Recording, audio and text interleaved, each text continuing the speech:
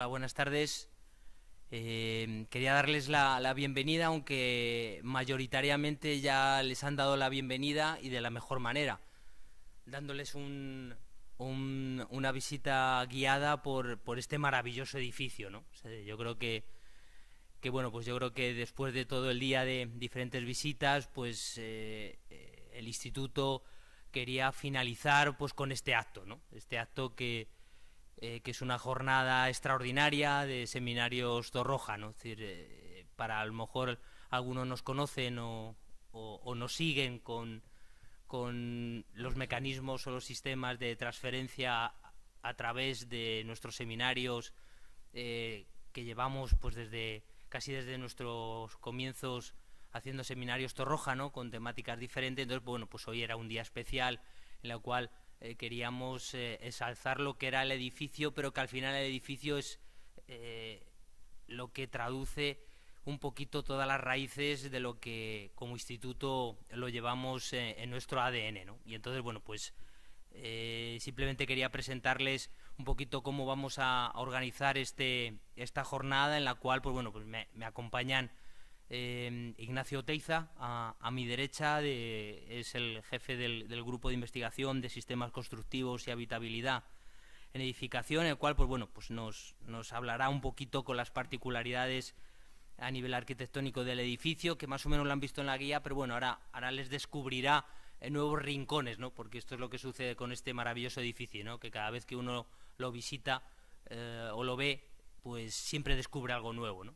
Y, y luego eh, también una de nuestras arquitectas, que es eh, Elena Frías, de, la unidad de, calidad, pues nos va a dar un salto en, la, en, el avance tecnológico ¿no? y nos va a presentar pues un, poco una visita virtual ¿no? a raíz de un proyecto eh, europeo que, participamos el Instituto como uno de los socios, bueno, pues nos va a hacer una visita virtual y luego pues eh, eh, terminaremos eh, que yo de alguna manera les contaré pues después de tanto continente no pues no, no, me puedo resistir de, de, explicarles algo del contenido no porque este maravilloso edificio los que trabajamos tenemos una enorme suerte y un enorme privilegio pero aquí hacemos cosas no y entonces de alguna manera de manera les prometo que voy a ser muy rápido sí les voy a contar un poquito lo que esa, esa esencia de la investigación que hacemos dentro del instituto. Entonces, eh, lo mejor es que, que, hablen mis compañeros que seguro que, que, van a disfrutar con lo que, con lo que les enseñen. Ignacio, todo tuyo.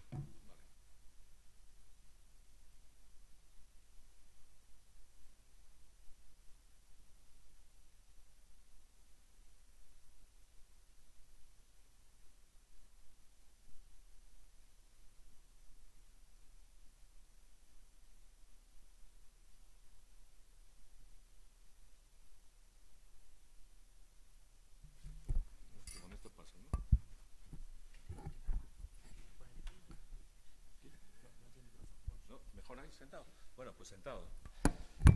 Eh, este no, tiene... ¿No? Entonces me quedo aquí sentado, vale. Bueno, buenas tardes. No sé si... Para que me vean. ¿Eh? Espero, no me ven o no veo. No, pero quiero ver a Miguel, porque Miguel ya, ya vais a ver que es importante. Bueno, buenas tardes. Gracias a todos por venir. Eh, eh, hoy el día Pi, es una disculpa para presentar el, instituto, ha sido Rogelio el que nos ha metido en todo este, en esta movida, digámoslo así, pero en cualquier caso siempre es un, placer contar eh, el instituto, contar un poco eh, cuándo se hizo, cómo se hizo, quiénes lo hicieron, y mm, va a ser un poco rápido porque eh, creo que ha sido importante la visita que han hecho de las instalaciones. Ahora a lo mejor contar un poco alguna anécdota y algún detalle, pero creo que lo mejor que se puede hacer es vivirlo, visitarlo, caminarlo. Em,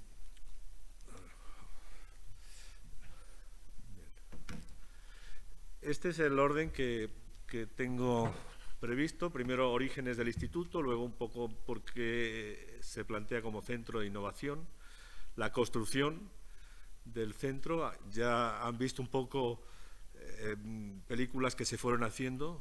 Eh, hubo una preocupación importante de cómo mm, se hacía el, instituto y vamos a ver luego el porqué. Eh, y algunas consideraciones finales de qué pasa, qué estamos haciendo después de 65 años de construido el edificio. Como reseña histórica, brevemente, en el año 34 se crea el Instituto Técnico de la Construcción y la Edificación. Es una fundación privada con una serie de, mm, fundadores, los más importantes, José María Aguirre, Modesto López Otero, Manuel Sánchez Arcas y Eduardo Torroja. Em, hacen este instituto con una serie de, principios que luego vamos a ver incluso el acta fundacional, que es interesante leer algunos párrafos. Bueno, en el 39, eh, pues el 36 eh, llega la guerra, se para el instituto y hasta el 39, pues no, hasta después del 39 no se vuelve a arrancar.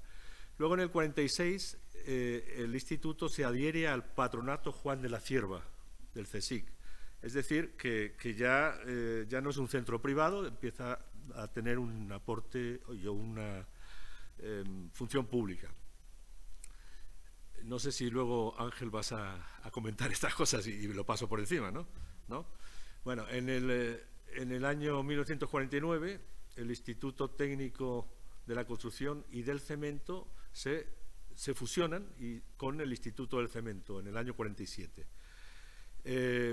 aquí entran eh, los cementeros, la gente que produce cemento, a tener un papel importante en, este centro, en este instituto, puesto que había un aporte que se, daba para la investigación para eh, el instituto y por eso es que la parte del cemento, del hormigón, es tan importante ah, porque es, digamos, el origen de, este, este, centro. Bien, eh, este Instituto Técnico de la Construcción y del Cemento estaba ubicado en diferentes partes, estuvo en el centro de Madrid, pero mm, eh, Eduardo Torroja eh, ve que se le va quedando pequeño el instituto, que necesitaba una serie de espacios para hacer laboratorios experimentales, para tener eh, apoyos, mm, bueno, espacios más grandes para la investigación, para los que trabajaban, la, cantidad de personas era mayor, y empieza a mm, pedir y a solicitar a este, al Consejo, a, eh, Juan de la Cierva, digamos, al patronato, que mm, requiere una sede nueva. Y esa sede se empieza a plantear, en un principio se, se sigue planteando en el centro de Madrid, pero logra convencer eh, para que se haga la sede a las afueras de Madrid, que es esta nueva sede donde estamos ahora, que es Costillares, en un área de cuatro hectáreas, con un programa arquitectónico bastante complejo, con una serie de talleres y espacios eh, muy ambiciosos. Eh, él tenía una visión importante, incluso hace una serie de, mm, viajes y de consultas sobre laboratorios y centros de investigación en otros países, se publican informes de la construcción y en base a esos estudios pues plantea lo que es la propuesta de arquitectura, los, espacios, los laboratorios y todo lo que tiene que hacer y lo plantea en esta nueva sede. Eh, bueno, desde el año, la construcción es del, 1951 hasta el 53. En el año 61 muere Eduardo Torroja, muere en este centro, en el despacho que, vieron. Eh, Sí, mm, eh, era una persona dedicada totalmente a, esto, incluso deja un testamento a, los, a, los que le siguen. Y bueno, en el año, a la muerte de Eduardo Torroja se le da el nombre eh, de, se le da el nombre de Instituto Eduardo Torroja de la Construcción y del Cemento. Pero en el año 90 se cambia y eh, ya no es del cemento, sino Instituto de Ciencias de la Construcción, eh, Eduardo Torroja. Pertenecemos al, Consejo Superior de Investigaciones y esa es, digamos, la historia que, sigue. Estamos, pertenecemos al, Consejo. Este es el, acta de fundación, no, mm, no, sé, no, leo, no sé si se puede leer algunos párrafos, pero por, ejemplo, por leer la primera, lo que está en, gris, eh, funciones, ¿no? ¿Qué, tenía que hacer? Fines, fomentar el progreso mm, de todo orden referente a la construcción y a la edificación, estudiar, promover, divulgar trabajos de construcción, en fin, una serie de, puntos, no muchos, ¿eh? hasta F, que todavía mm, nosotros tenemos, digamos, esa, esa función. Se mantienen esos, eh, esas premisas y esos fines que planteaba desde un principio. Esa es la fundación, es la firma del año, en noviembre de 1934. Bien, este es el, centro, el centro que ya ha construido, que se hace, se hace en una en, este sitio, que es, eh, un, como comentaba, un área de cuatro hectáreas, cerca de Ciudad Lineal, que estaba a las afueras, digamos, de Madrid, en aquella época de la fundación, había que coger un autobús, creo que desde República Dominicana o desde Colón, para venir a trabajar, pero mm, tiene la gran ventaja de que todos los espacios, incluso mm, con una visión de futuro, eh, los arquitectos y Eduardo Torroja plantean este edificio que mm, sigue siendo, digamos, actual. Y lo plantea con este como un centro para la innovación. Toda la construcción plantea que debe ser un espacio o un centro experimental de la construcción.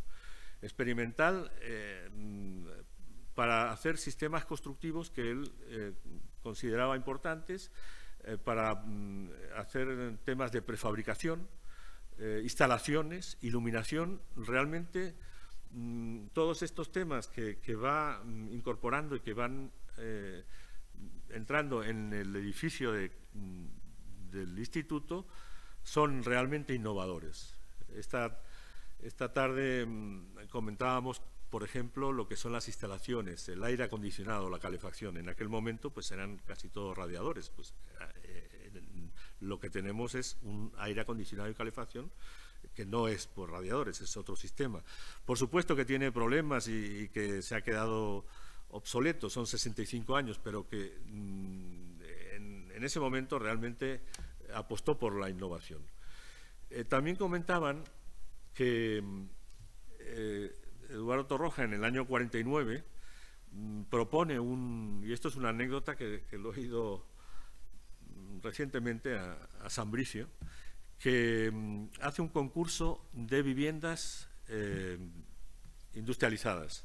El instituto promueve un concurso internacional y se presenta mucha gente. Realmente ha habido una exposición donde, y hay un libro donde se pueden ver esos, esas propuestas. Sin embargo, el gobierno en aquel momento, el ministro de Obras Públicas, no sé cómo se llamaba en aquel momento, le dice que no, que, nada de industrialización mm, de las viviendas, que las viviendas pues hay que hacerla con mucha mano de obra y que la industrialización la puede hacer él y dicen, esto quizás es un poco una leyenda que dice, bueno, haz todo lo que quieras hacer en el centro de investigaciones, en el instituto que vas a hacer, y ahí vas a, a probar y a conocer y a, y, a experimentar con los sistemas industrializados que quieres hacer.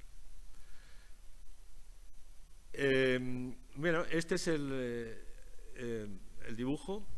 No hemos, no hemos dicho la forma de pi, quizás es lo más importante que había que, señalar, la forma que tiene en esos dos, esas dos patas y, la parte central, aunque luego hay otra serie de elementos, la forma de pi del edificio. Y este edificio, mm, realmente los arquitectos eh, son Gonzalo Chegaray, Manuel Barbero y Eduardo Torroja, que siendo ingeniero yo considero que estaba metido hasta el fondo, incluso hasta en el diseño, yo diría, de los muebles se involucró Eduardo Torroja eh, en todo, en, todo lo que se hacía. Pero mm, los responsables, digamos, como arquitectos eran eh, Chegaray y Barbero. Pero además había otra serie de, de personas que participaron y que tenían mm, cada uno un papel importante. El aparejador Bouso, eh, la parte de prefabricación era Aymar, la parte de instalaciones eh, La Orden y la parte de iluminación Oñate.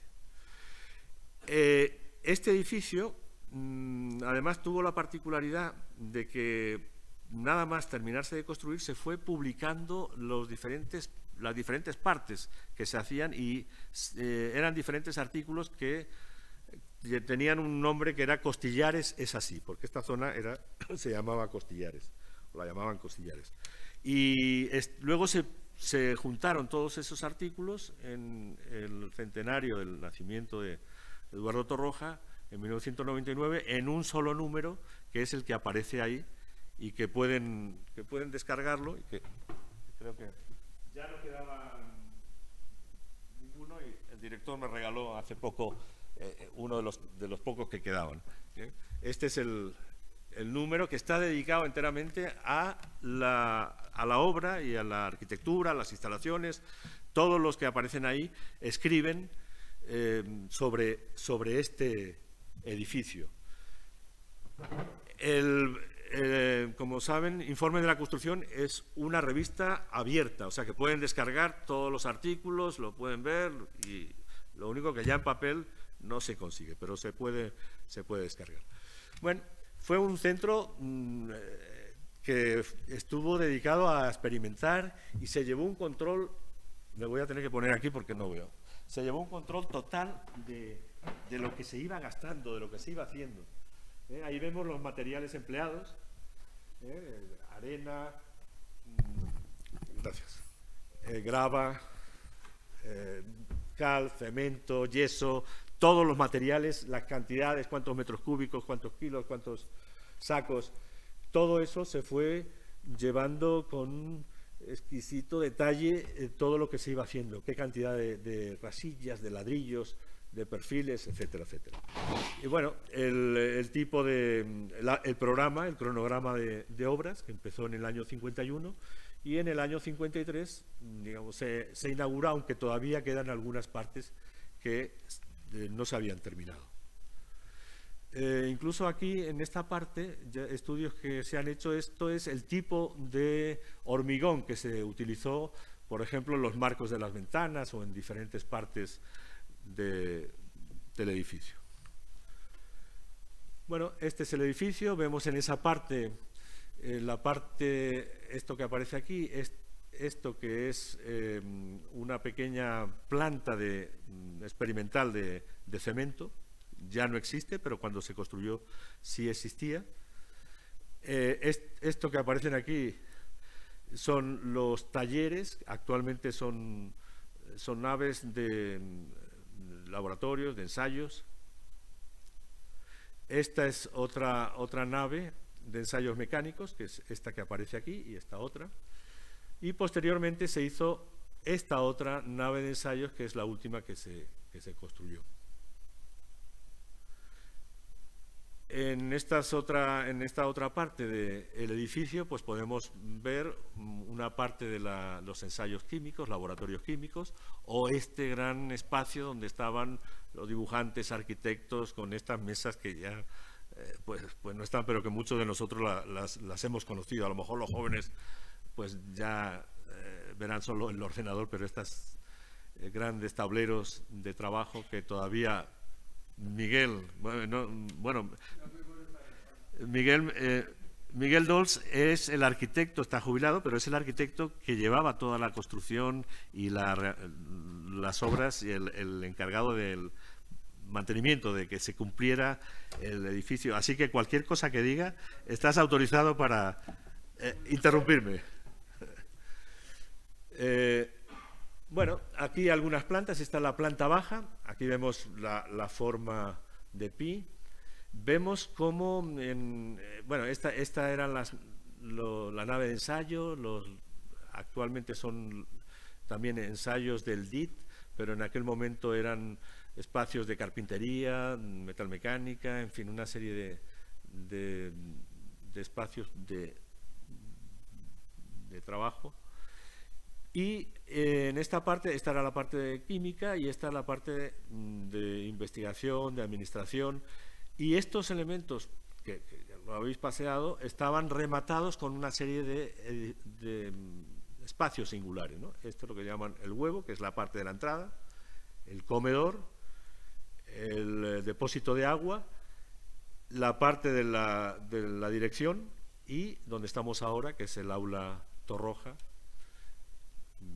donde estamos ahora. Estos eran, digamos, como elementos singulares que remataban estos espacios que era donde fundamentalmente estaban los elementos prefabricados o industrializados.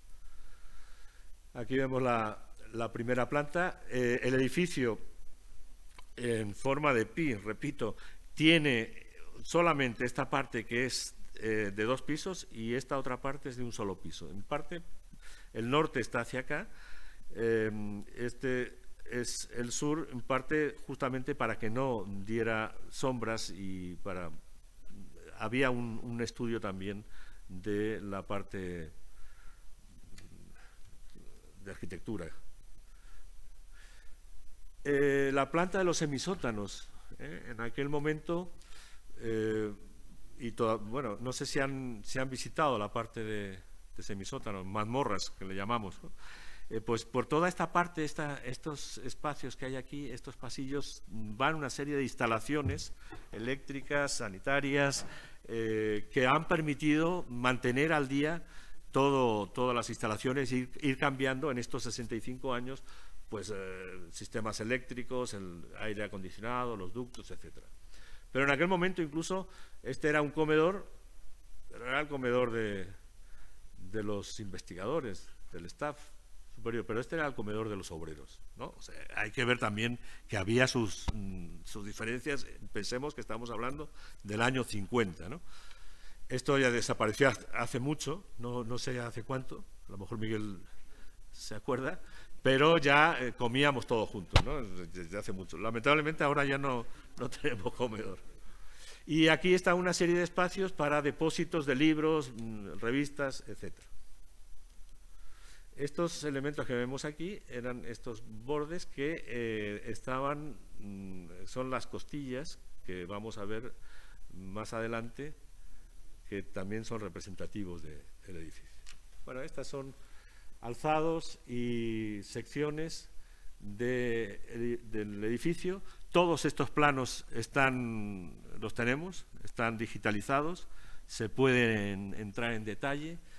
Eh, si alguien le interesa estudiar a fondo, yo creo que hay mucho todavía que estudiar de, de este edificio desde el punto de vista de la arquitectura, no solamente de la construcción. Yo pienso que sí tiene mucha relación con la arquitectura americana con la arquitectura de California también. En esa época había, eh, hubo una representación de este instituto que fue a California y se reunió con, con Frank Lloyd Wright, con Richard Neutra. Richard Neutra eh, vino a menudo, a menudo tres o cuatro veces eh, aquí a España y yo no tengo la menor duda, porque este es un edificio realmente para los años 50, mm, pues rompedor, muy moderno. Bien, y vamos a entrar ya un poco en el detalle. Eh, eh, una de las cosas que me llamaba la atención, a pesar de ser este un edificio de, eh, del Instituto de la Construcción y del Cemento, pues me llamaba la atención de que justamente la estructura es, es de acero, de acero y de ladrillo. Claro, pero por otro lado era una época con bastantes necesidades. No sé hasta qué punto habría, el hormigón podría ser. O sea, aquí vemos cómo esta estructura, vemos estos mm, pilares de, acero o estos, estas viguetas o vigas y eh, el sistema de apoyo pues es en estos elementos de ladrillo y los marcos de las mm, ventanas que sí son de hormigón, pero son de hormigón prefabricado y luego vaciado. O sea, es interesante, hasta ese momento, lo comentaba con otros arquitectos o ingenieros, hasta ese momento pues mm, la obra de Eduardo Torroja era fundamentalmente de hormigón. O sea, si vemos, claro, si vemos eh, la zarzuela o vemos el Algeciras, que son obras mm, anteriores a, esto, pues todos son elementos de cáscaras y elementos de, hormigón, que era fundamentalmente eh, lo que, lo que se le conocía a Torroja en, todo el mundo, era un referente importante. Pero él, al hacer este edificio, pues trabaja con una serie de material, con otros materiales, otros materiales, eh, el acero, el ladrillo, materiales que, eh, digamos, se estaban utilizando constantemente. Bueno, esta, esta es una sección, no se puede leer todo, pero esta la sección, la, he heredado de, Miguel, la tengo en el despacho, he heredado hasta el despacho de, Miguel Dolz, y, la tengo ahí porque es interesante mirar cada uno de los, de los elementos que va señalando en esta sección. Los elementos, muchos de ellos son elementos prefabricados, que si el cielo raso, que si las losetas, eh, eh, el, cerco eh, de la ventana, bueno, los aires acondicionados, todo está señalado, el IPN número tal, todo está, en, ese, en esa sección está indicado todo. Esta es una sección de esta parte que tiene dos pisos y como ven aquí vemos la estructura metálica y eh, los pilares. Incluso aquí hay una parte de cercha. Una parte importante eh, es la, prefabricación, la industrialización, una prefabricación que se hace a pie de obra. Y mm, todos estos son elementos prefabricados que se realizan en el edificio.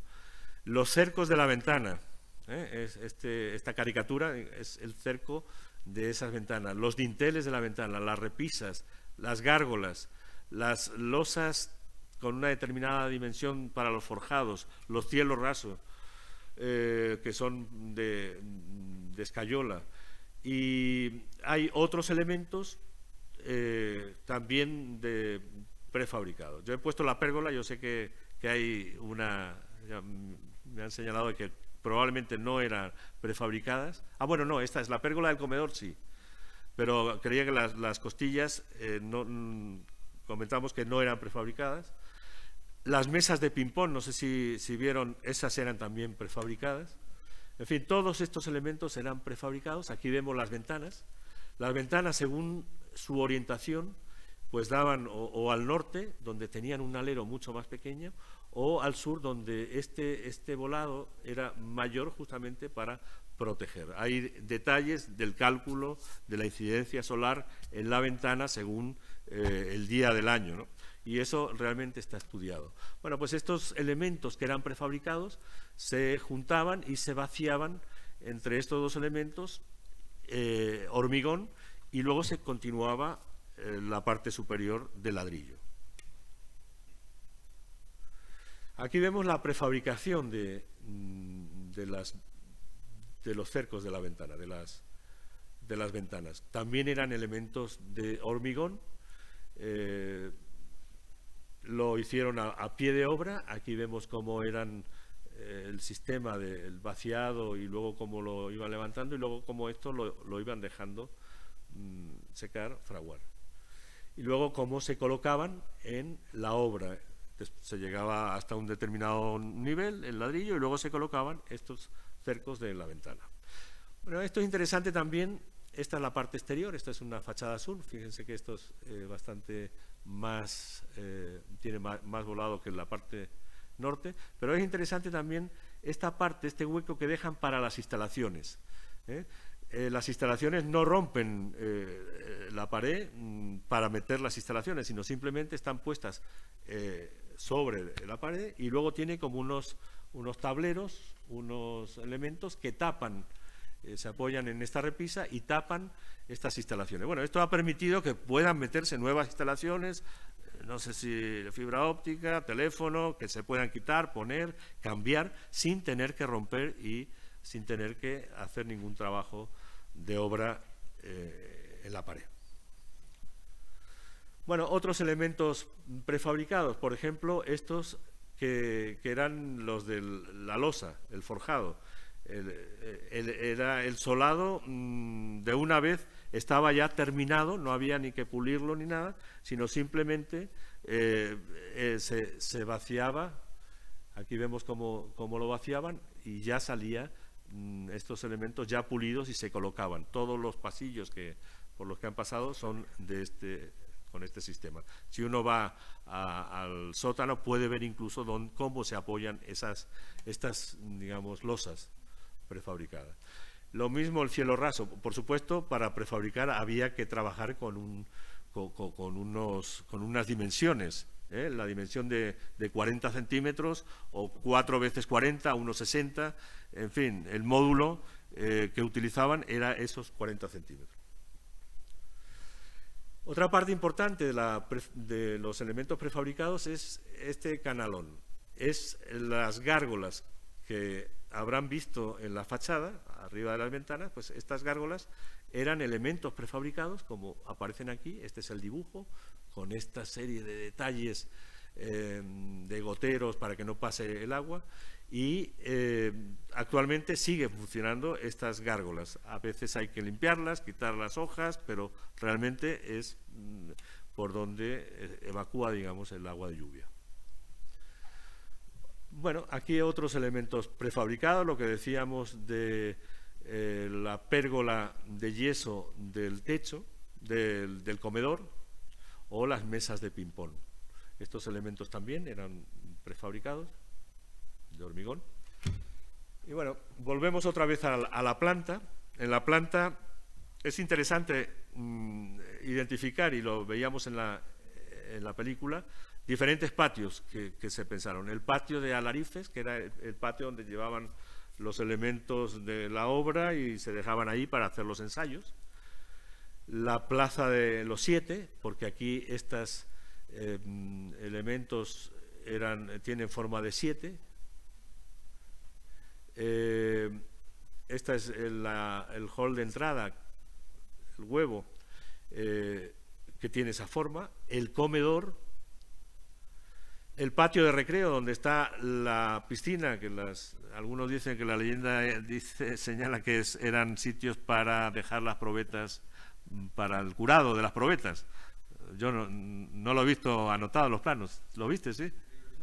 ¿Sí? Ah, pues Pues bueno, la verdad que se lo, se lo creyeron entonces que era...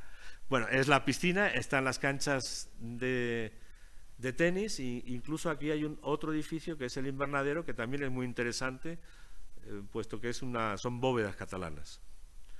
Eh, el otro patio entre estas dos patas de la pi, que es el patio de la alberca, o el patio de los peces, también lo llamamos, hay peces, se congela, pero los peces siguen vivos. Y ahora tenemos tres patos, ¿no? Hay, que, se han quedado ahí desde hace ya un buen tiempo.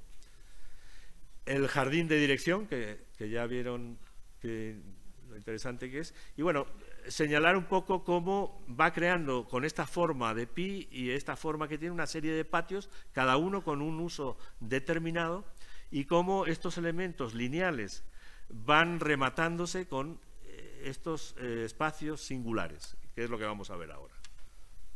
Bueno, yo traía esta foto, pero mm, para que vieran un poco eh, la época de la construcción, cómo se construía, cómo eran los andamios de madera, cómo iban los obreros, cómo en carretilla el, hormigón, la boina, el sombrero, todo lo han visto ya en la, película, que yo creo que, ha sido más interesante.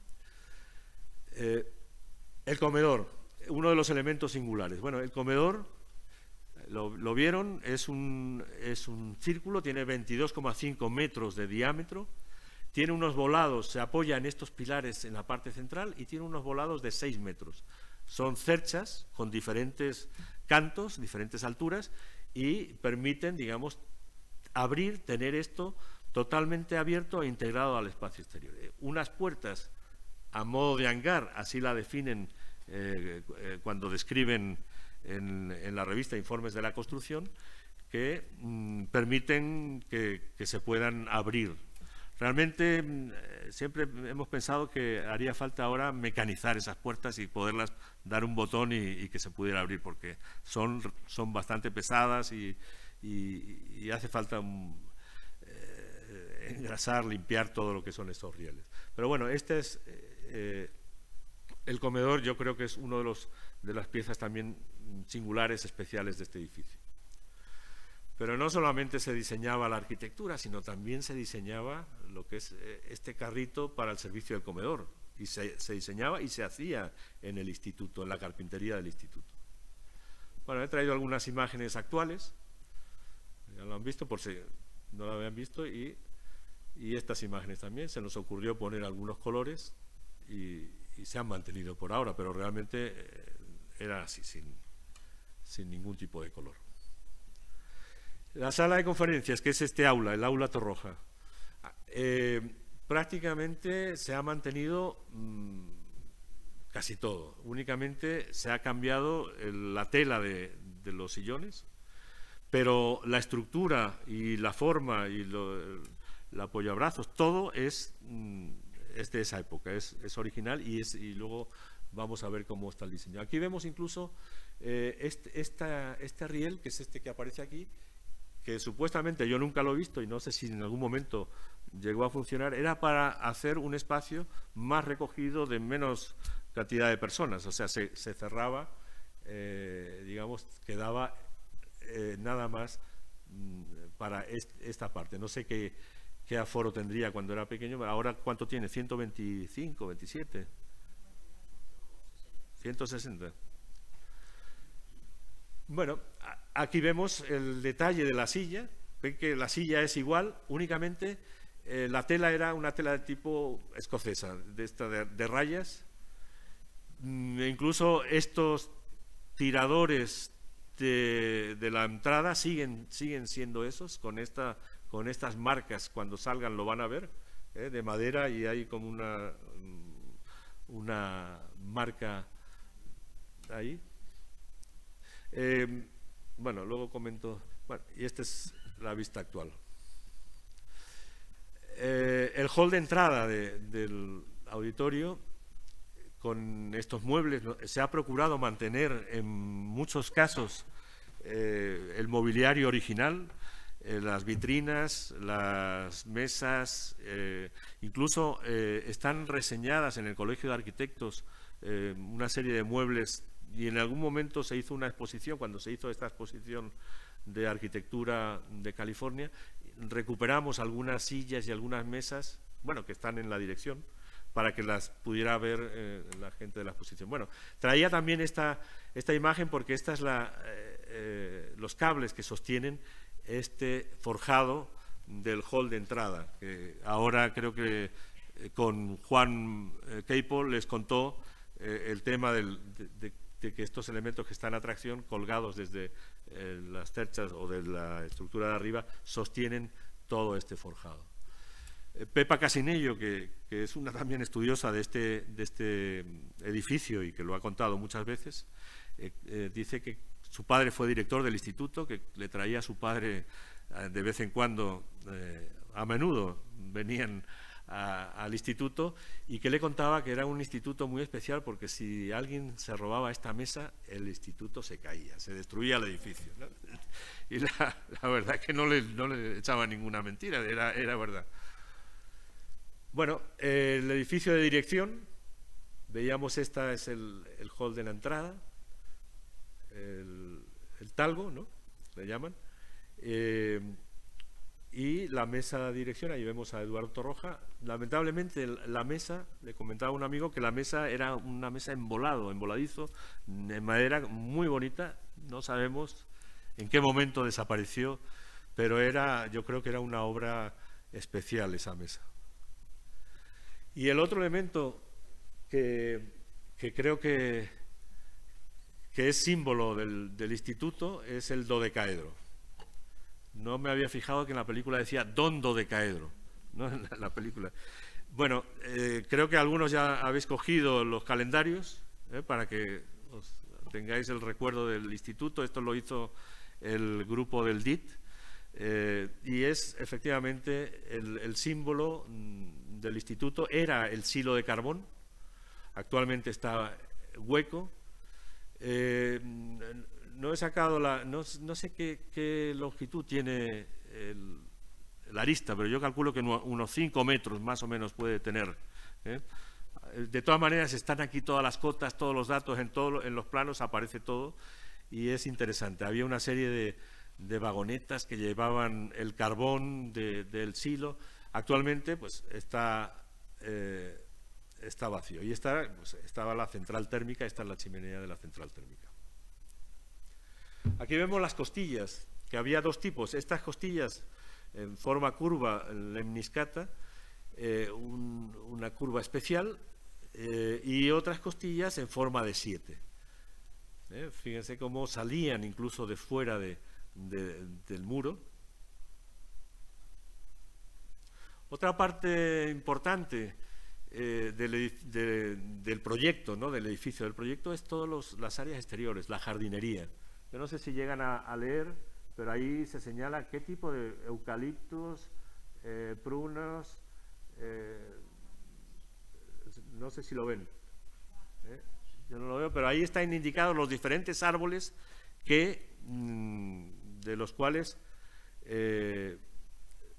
se, entiendo que se sembraron. Aquí dice pues un bosque bajo, eh, alto, etcétera, etcétera. Pinos.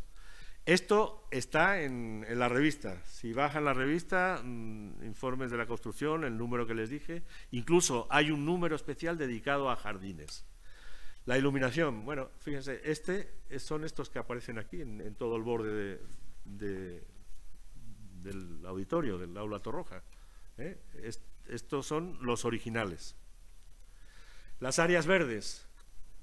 Hay un número especial. Eh, el instituto da para, muchos estudios que incluso ha dado para estudiar el tema de los jardines. ¿eh? Y qué relación tuvo con el movimiento moderno en los jardines. Este eh, número, en el año 2018, Hernández Lamas escribe El jardín del instituto Torroja y analiza los diferentes jardines y los va comparando con los jardines que hacían incluso en California Richard Neutra y una serie de, arquitectos de esa época.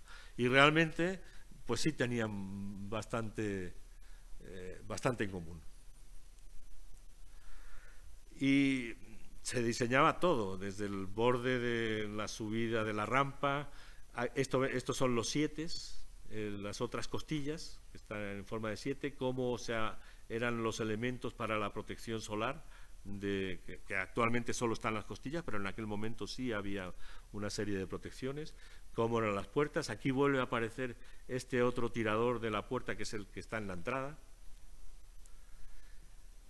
Muebles, todavía quedan algunas de esas mesas, ¿eh? hay peleas porque, por mantener eh, las mesas, algunas personas quieren eh, una mesa moderna y tal, pero mm, otros peleamos por tener una cajonera de este tipo o una silla o una mesa de, esta o el revistero que vieron en donde el director, que realmente son joyas eh, de, mobiliario.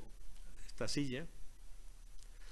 Y bueno, ¿qué pasa actualmente, 65 años después? Pues que el edificio, si bien era un edificio mm, totalmente rompedor, eh, innovador, pues se ha quedado en muchos casos Mm, con deficiencias. Y aquí hemos hecho algunos estudios, análisis. Este, por ejemplo, el tema de la eficiencia energética. Se hizo un estudio mm, del instituto y pues vimos que, porque nos lo obligaban también, que está en la letra F, de las, de las peores.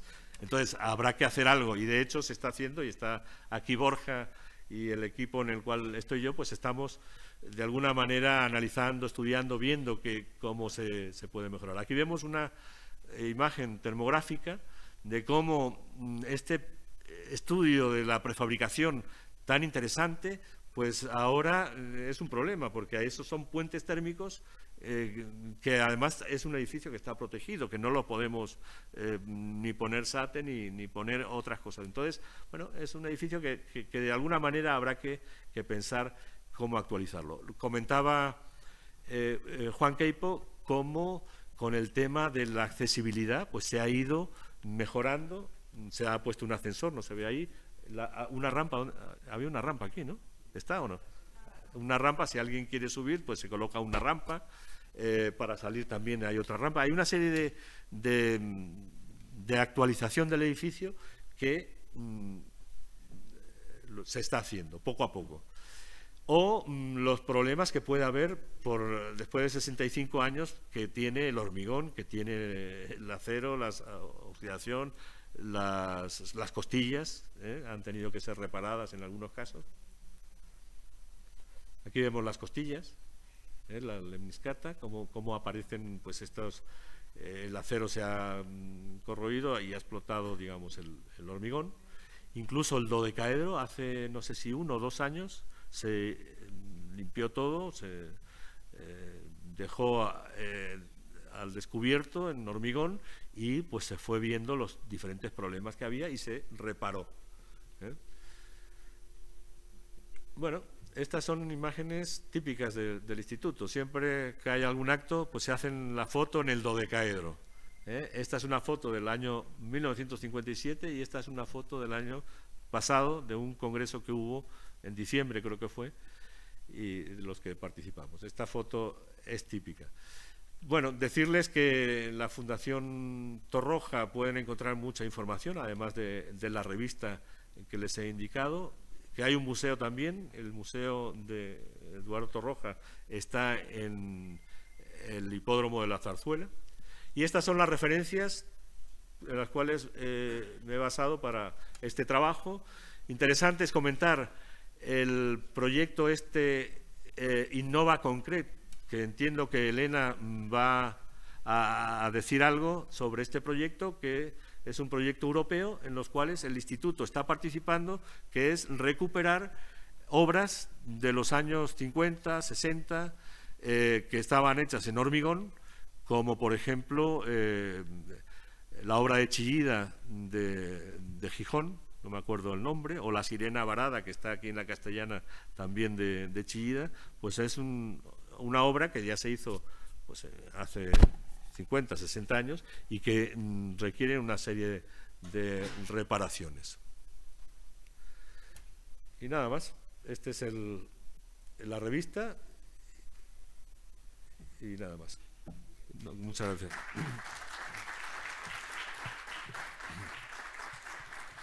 No sé si hay alguna pregunta. Ah, bueno, aquí. sí. Eduardo.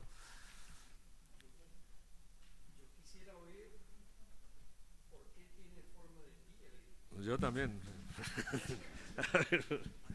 bueno, eh, ¿tú sabes algo? Bueno, eh, las, malas, bueno, eh, la forma de pi, y, aquí es un poco Rogelio el que nos ha metido en esto. no hay que olvidar que era matemático, el padre de, Torroja era un matemático, y bueno, además de, de la forma de pi, pues ese poliedro regular, ¿no? que también es un elemento. Por otro lado, mm, también hay una serie de teorías de, de por qué estas formas geométricas en Torrojas, si tenía algo que ver con la masonería, en fin. Ya eso son otras historias que yo no, no las conozco. Miguel. No, pero eh, lo que sí que tiene el, instituto es mucha, mucha matemática. El hermano de, Eduardo Torroja, como ha dicho Ignacio Teiza, era matemático y mm, tomaba ideas de, su hermano. Entonces, por ejemplo, las lemniscatas en forma de curva, es eh, la, puesta en obra es una figura de, una fórmula matemática. el dodecaedro es un dodecaedro regular de los cinco únicos que hay con pentágonos regulares, 12 caras, tal, tal. El em, pi, pues es otro, eh, otro elemento matemático. Es decir, que aquí, hay, eh, si nos fijamos en muchas cosas, esto, este, esta, sala es un paraboloide, un paraboloide hiperbólico con las paredes tumbadas. Eh, tiene mucha matemática y está influenciado por su hermano, yo creo.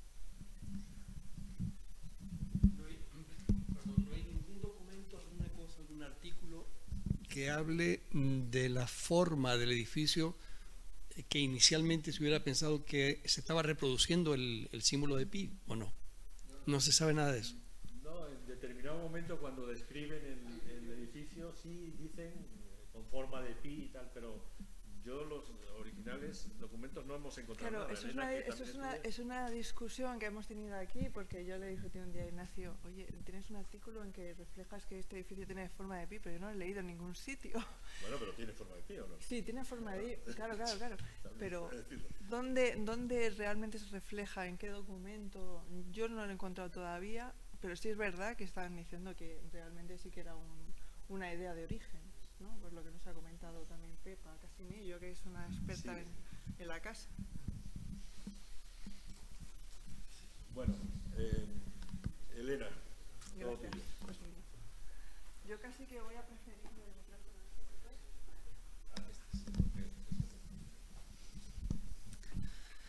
Bueno, buenas tardes. Yo voy a hacer una presentación muchísimo más, más corta porque ya se han explicado muy bien todo el edificio, se han hecho la visita más pormenorizada de todos los elementos de la casa, de la que todos aquí nos sentimos muy, muy orgullosos, ¿no?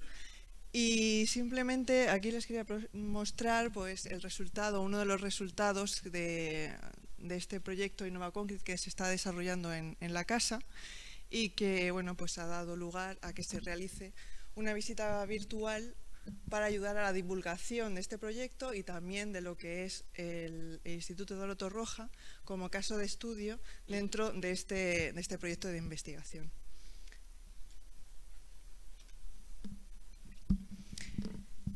El proyecto Innova Concrete es un proyecto que nace con un objetivo, que es el de desarrollar técnicas sobre los nuevos, nuevos eh, materiales eh, para mejorar los hormigones y, vamos, y, de alguna manera eh, poder mejorar y conservar los, hormigones patrimoniales, ¿no? nace con ese, con ese objetivo. Y una de las patas fundamentales del proyecto, además de desarrollar esos nuevos productos y técnicas para la mejora de los hormigones, es la de trabajar para eh, seleccionar aquellas obras más representativas de los hormigones, eh, o sea, de los edificios en hormigón del siglo XX, ¿no? protegidos.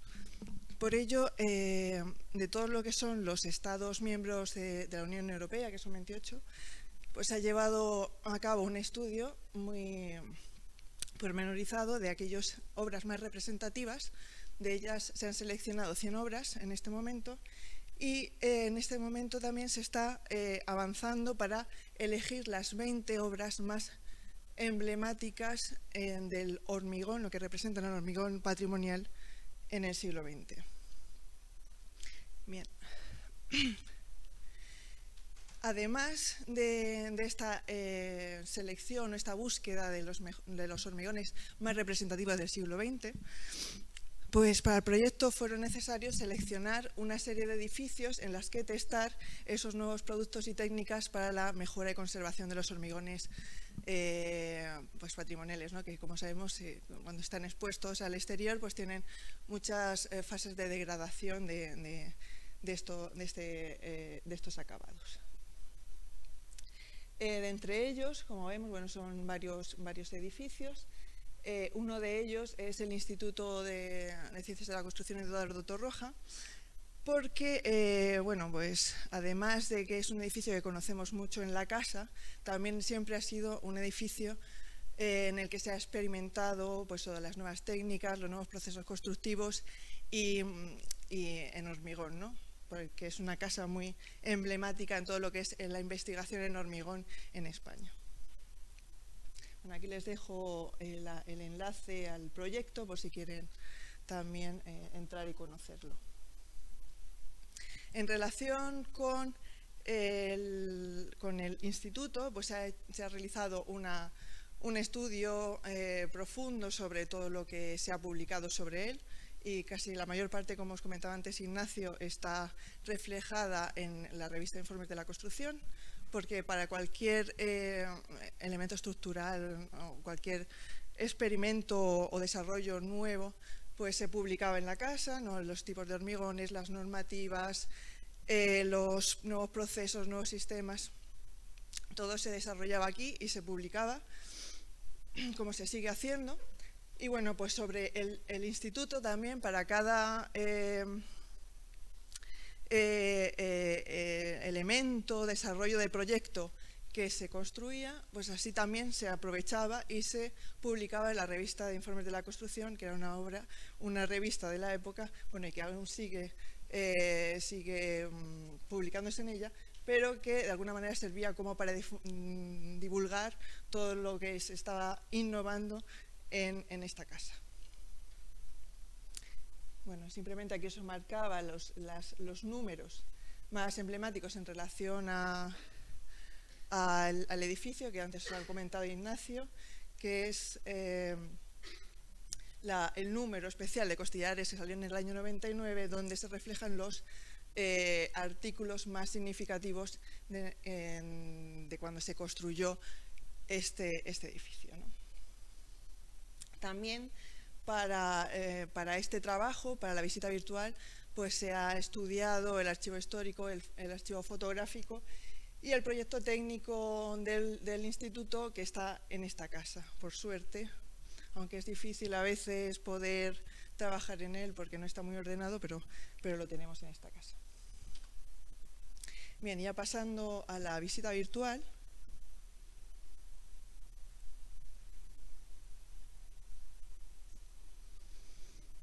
Eh, todavía no está incorporada en, la página del instituto porque la están eh, terminando de, retocar, pero bueno, eh, como podéis ver está casi casi acabada.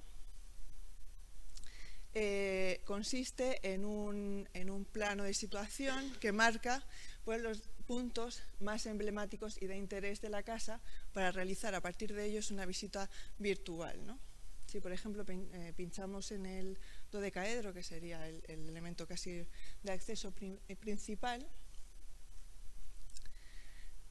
pues se puede ver, pues, eh, todo este recorrido se basa en una serie de imágenes a 360 grados sobre un espacio que de alguna manera te hacen un recorrido de ese espacio y te van dando información de lo que se puede ver desde ese punto. ¿no?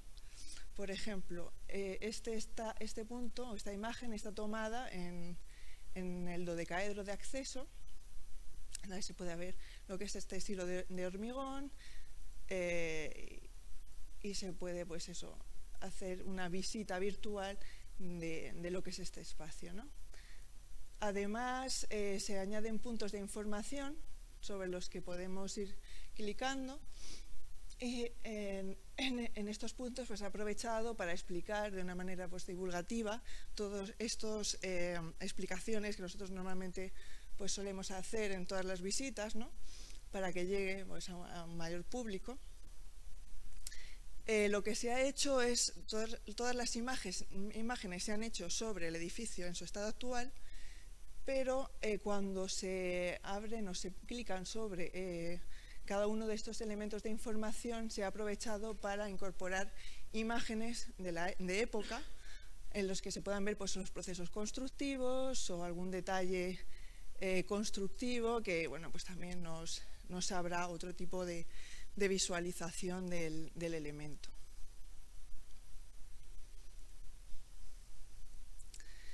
Y así, pues por ejemplo, en este punto pues tenemos los puntos de información del dodecaedro o de las garitas de acceso, ¿no? que también son otros elementos eh, bastante organicistas como todo el edificio, ¿no? donde pues aparece alguna imagen. ¿no?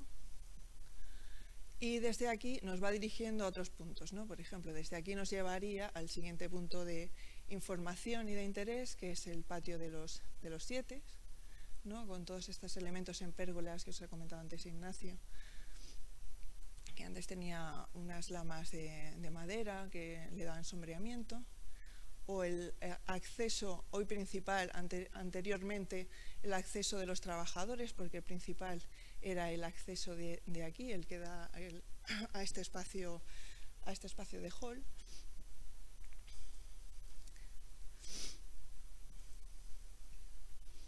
Bueno, así nos vamos moviendo a otra posición y aquí pues también se despliega información, por ejemplo, del elemento de los siete, con imágenes también de aquella, de aquella época, de cuando estaba recién construido el edificio,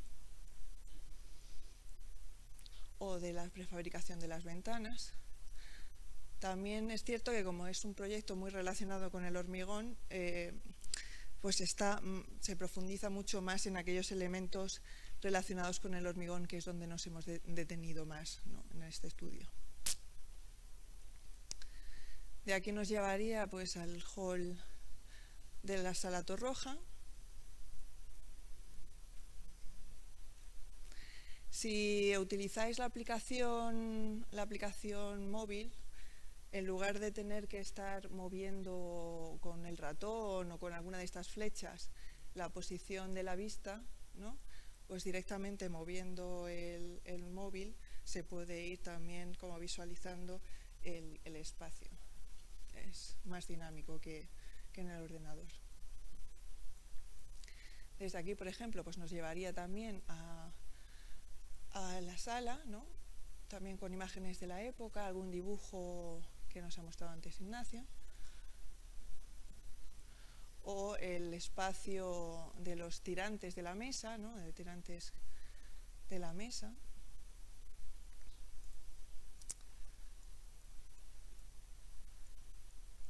De aquí nos, pues nos llevaría a otro, de los espacios emblemáticos de la casa, como es el patio de dirección, ¿no? que habéis podido ver y que de alguna manera pues también permite ver lo que era el despacho de Eduardo Torroja, de don Eduardo, como le llaman en todos los artículos. Bueno, aquí por ejemplo se ha aprovechado a, poner información de todo lo que es la obra, bueno, un resumen de la obra de Torroja, puesto que hay un busto ¿no? y bueno, pues he aprovechado también para explicar un poco de Eduardo Torroja. En algunos de los apartados, como es en este, se puede incluso acceder a, eh, al número de la revista en concreto. Este, por ejemplo, pues lleva a, un a una revista también muy interesante que se publicó eh, tras la muerte de Eduardo Torroja y en las que se explicaba pues las obras más emblemáticas de, Eduardo Torroja, como era el hipódromo de la Zarzuela, el frontón de Recoloteos, el mercado de Algeciras. O sea que este es un número, otro de los números muy especiales de la casa, que todos intentamos tener uno, pero que es un poco imposible de conseguir. Ya, pero no tienes en papel.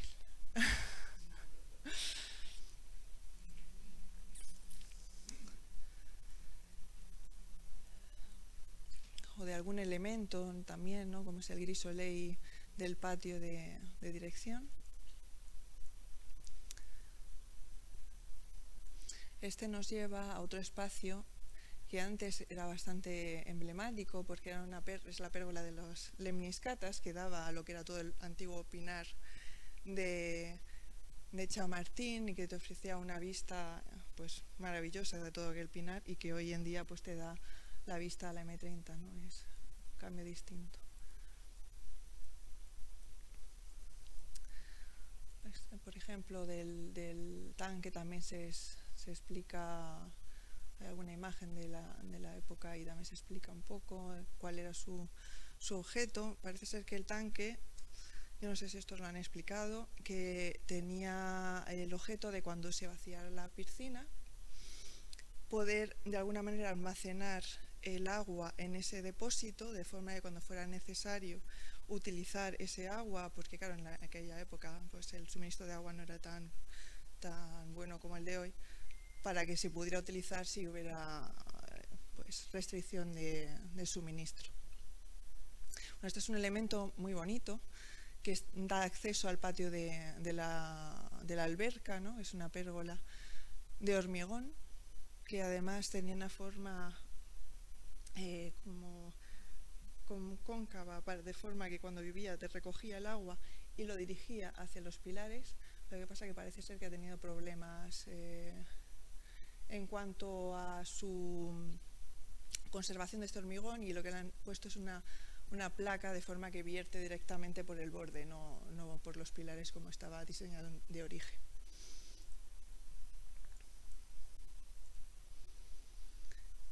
Esta es otra vista, ¿no? Una vista del patio de la alberca con algún elemento más, por ejemplo, este es el... Eh, te despliega información sobre otros elementos que se pueden ir encontrando por los jardines, ¿no? que bueno, también se aprovechaba eh, el hormigón para hacer algún elemento escultórico emblemático y se iban distribuyendo a lo largo del, del jardín. Eh, y bueno, pues respecto a este tipo de, jardinamiento y tal, también eh, pues hay un enlace a un artículo que se ha publicado en, informes relacionado con todo lo que es el jardín de, del Torroja.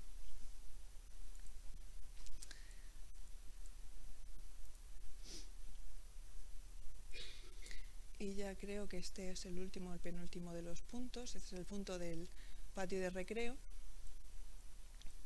que creo que comentaba, porque también se publicó un artículo en informes relacionado con el, con el patio de recreo, que en aquel momento, pues como en Google también se veía bien, se ve bien que sus, sus trabajadores tuvieran espacios de esparcimiento, pues aquí en la casa en los años 50 también se pensó que para los trabajadores deberían de haber espacios de esparcimiento con piscinas y con eh, pues espacios deportivos para que disfrutaran pues también de, esas zonas. Em, aquí, por ejemplo, lo que os comentaba antes Ignacio, ¿no? está, el, invernadero, que es otra de las obras que, se intentó recuperar, pero como está situado en un espacio un poco escondido, pues es más de, más difícil acceso y de más difícil uso, aunque realmente es pues, un espacio bastante atractivo, ¿no? arquitectónicamente hablando.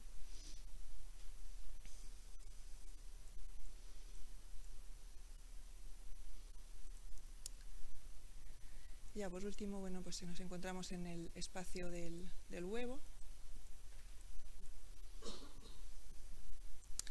que daría, volvería, bueno, es como es un espacio de, conexión, nos llevaría de nuevo a lo que es a la zona de este hall, de aquí de la sala Torroja, o a la zona del patio de los siete, o por último nos llevaría al patio de Alarifes, que es la zona más... Eh, eh, laboral, ¿no? donde es, en donde se, de alguna manera se acopian todos los materiales de ensayo.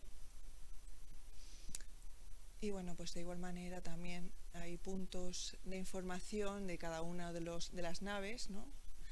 sobre todo con imágenes de, cuando se estuvieron construyendo, ¿no? o como la nave de, talleres, ¿no? que le llaman los acentos por la forma de estos elementos eh, de cubierta o la trompa del elefante que también lleva pues a otro artículo de informes y bueno mm, pues un poco esta es la visita virtual que se ha planteado para de alguna manera eh, explicar y que llegue a más personas toda la información que normalmente se suele explicar aquí en la casa. Y nada más.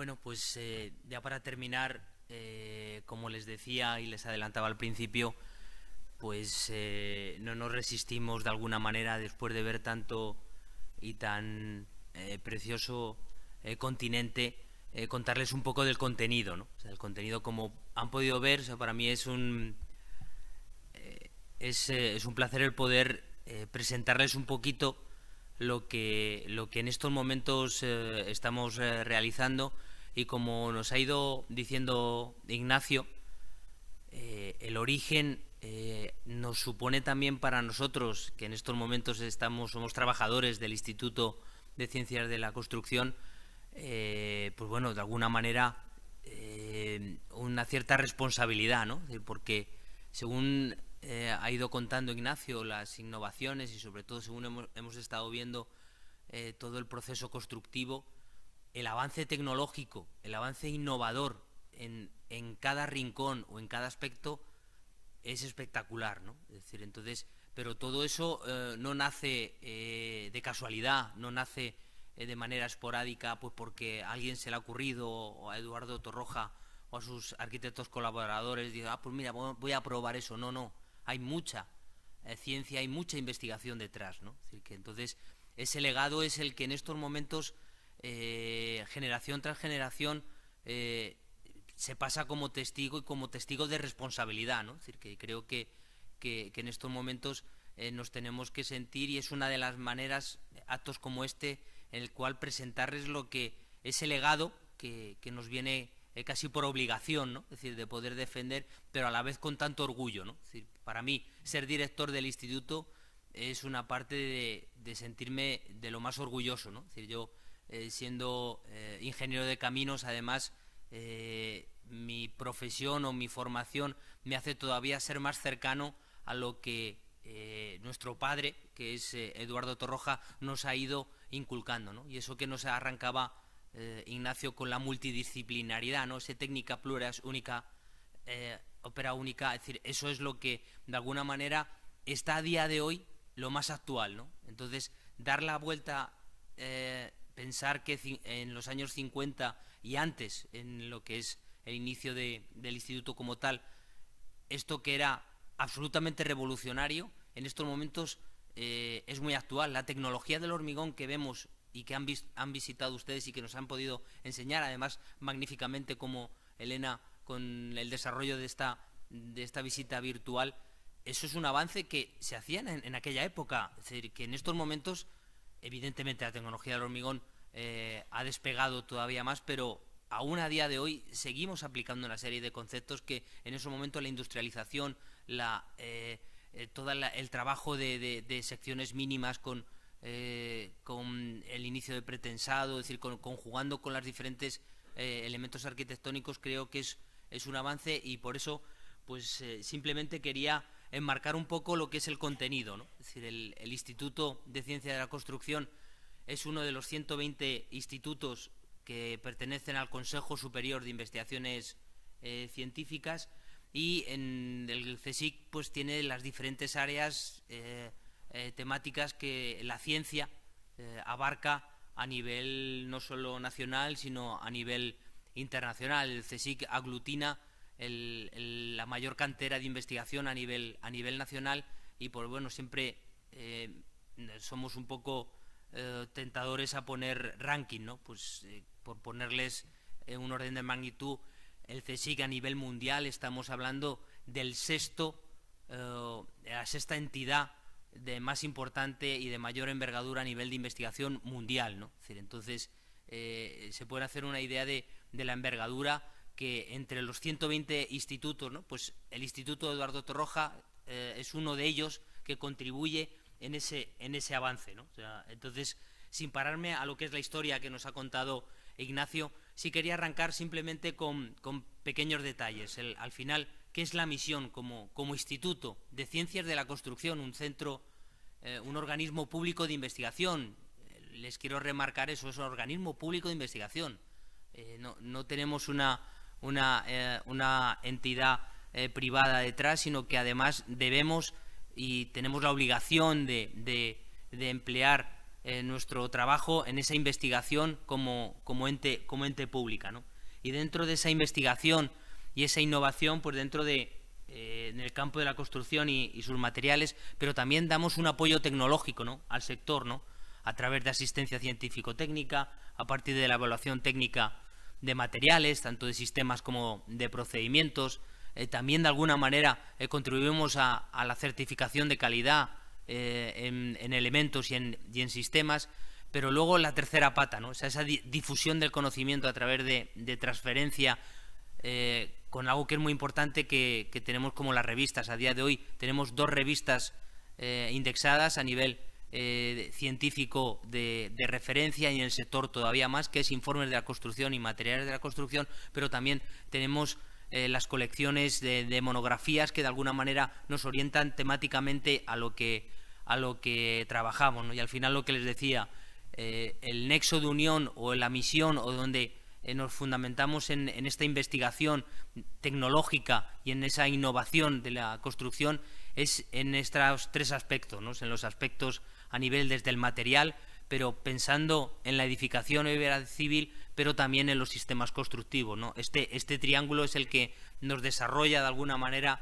eh, toda la, investigación y, cómo no, no podía, antes de empezar a desgranarle de manera general los, las, líneas de investigación que, en estos momentos estamos eh, trabajando, algo que, para nosotros eh, siempre es un fundamento eh, magnífico y en el que nos apoyamos. Tenemos una joya de la corona dentro de, dentro del instituto, que es la biblioteca, nuestro fondo de biblioteca con casi más de 24.000 libros, eh, pero eh, de la parte técnica. ¿no? Decir, Eduardo Torroja era, era una persona que especialmente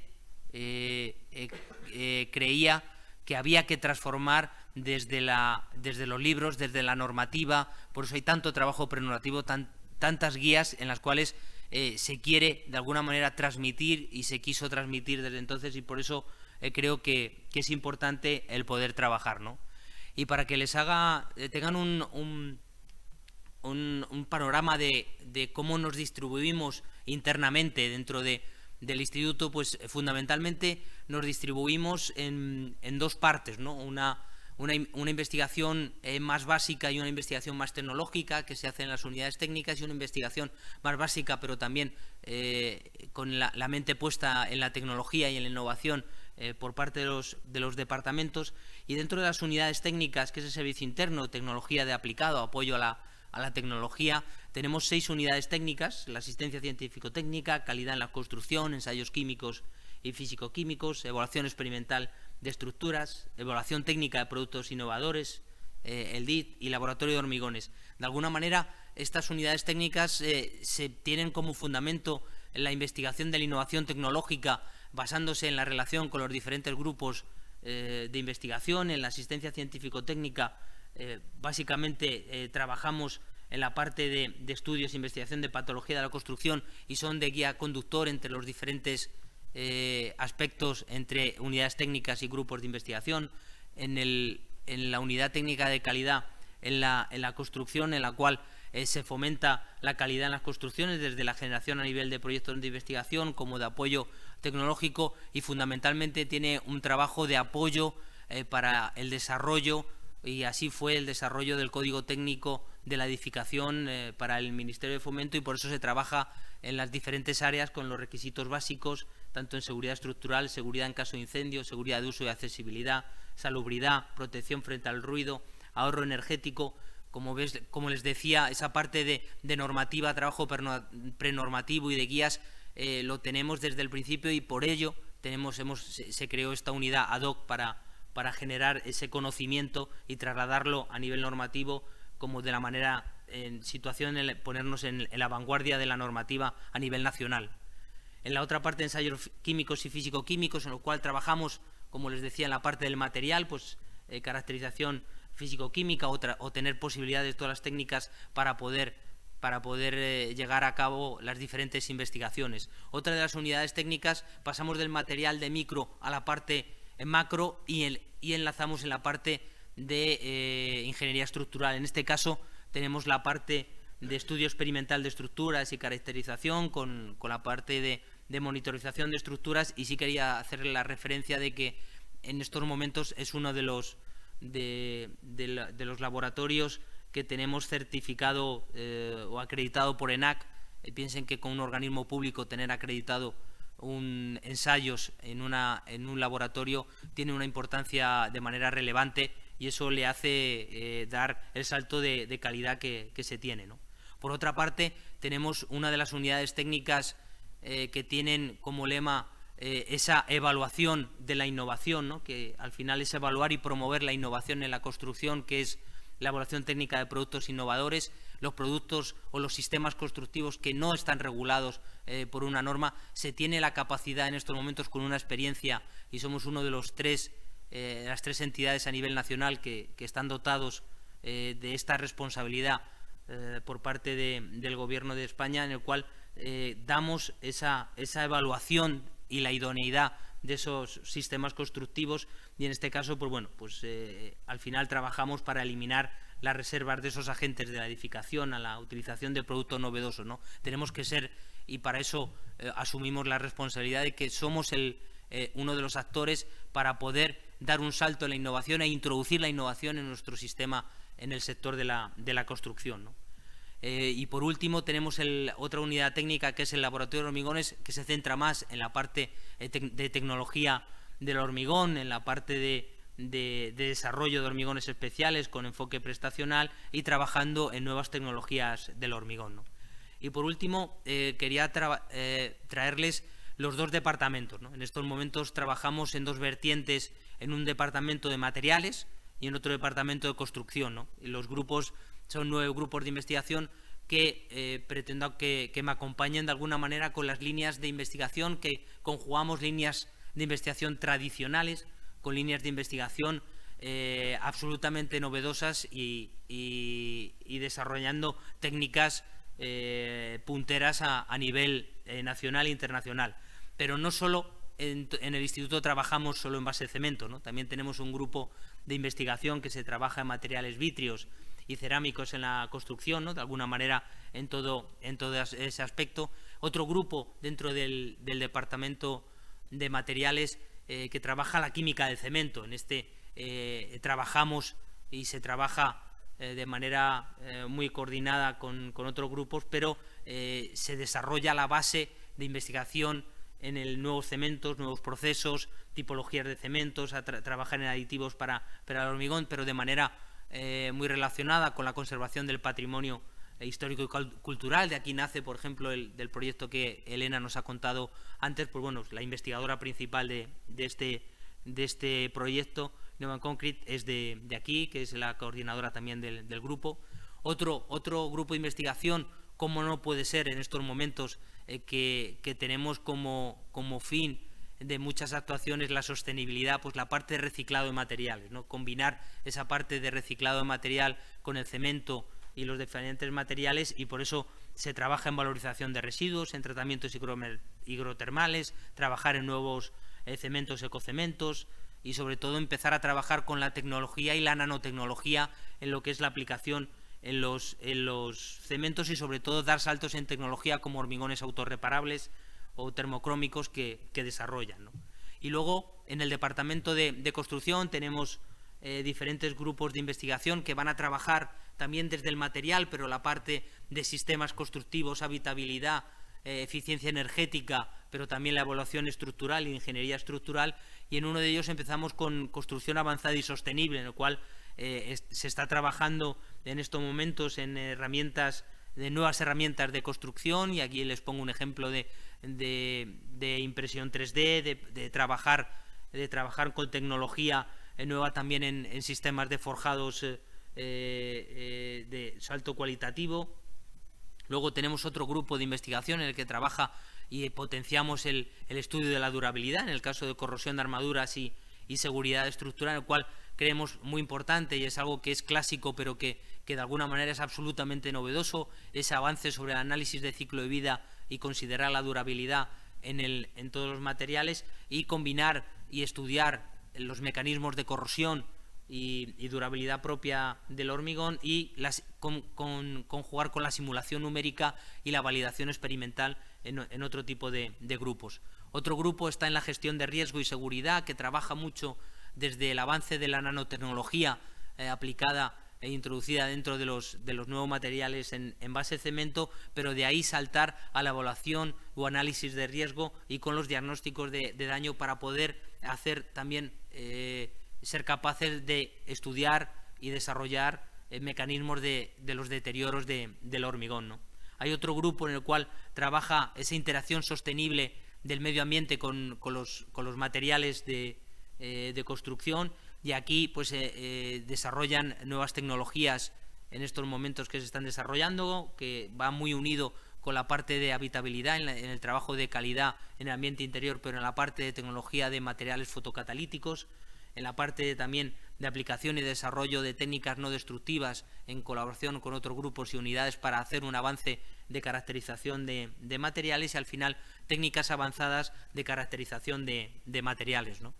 Y ya para ir, terminando, eh, nos quedan los eh, otros dos grupos, ¿no? Un grupo en el cual se trabaja en sistemas constructivos y, habitabilidad en edificación, en la cual lo, dirige eh, Ignacio Teiza, que, como pueden ver precisamente por eso es un lujo el que nos explique de alguna manera la historia, ¿no? Pero ahora en estos momentos coordina un grupo en el cual se está desarrollando y se está trabajando en, en, aspectos muy importantes dentro de la habitabilidad y la edificación, la parte la parte de, eficiencia energética, rehabilitación energética, a la, vez, unido con el estudio de vibroacústico y también eh, en, este, en este grupo se trabaja sobre, sobre la parte de contaminación por radón y sobre todo las, los, los mecanismos de remediación para, para, este tipo de, de, contaminación.